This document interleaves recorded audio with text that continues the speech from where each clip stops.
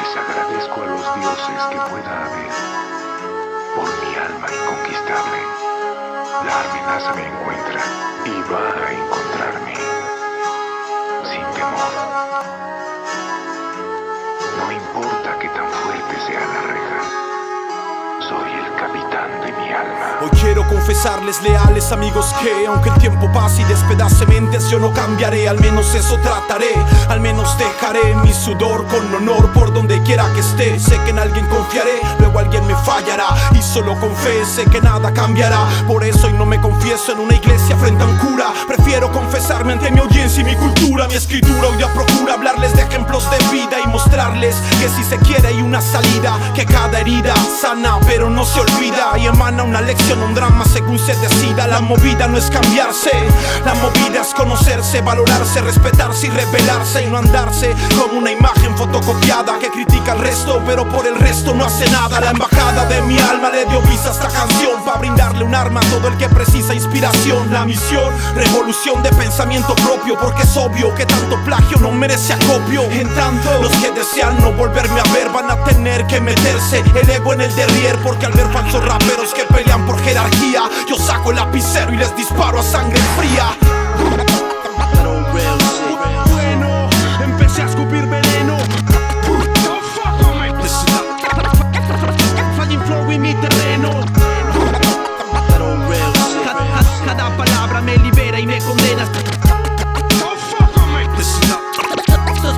Porque ya nada nos frena. Amigos, les confieso que del progreso yo vivo preso y lo que pienso así sea denso aquí lo expreso. Por eso me he ganado algunos críticos y tipos cínicos, los típicos ciclotímicos que de frente suelen adular y que fuertes son para juzgar, para señalar y difamar. Obviamente a tu espalda es la esencia y la astucia que tiene para brillar la gente de conciencia sucia. Confieso que también me he equivocado, que he sentido y dolido, otro herido y leyes he violado. He fallado sin sentido como todos, pensando deprimido he comprendido algo aprendí de todos modos. A veces solo quisiera escapar del mundo y deambular meditabundo y como cualquier vagabundo palpar la paz de un primero de enero y no marchar al compás que me impone el rey dinero. Yo me autosupero leyendo libros, meditando, yendo ritmo, freestyleando, haciendo estilos y probando, viajando, conociendo gente diferente y conservando los principios que yo he respetado siempre. En mi mente siempre flow shows, métrica y lírica, crítica verídica, auténtica y explícita, no mímica.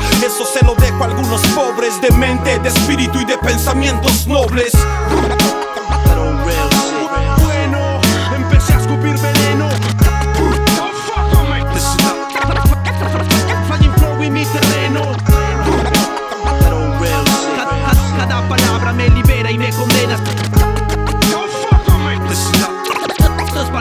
Porque ya nada nos frena.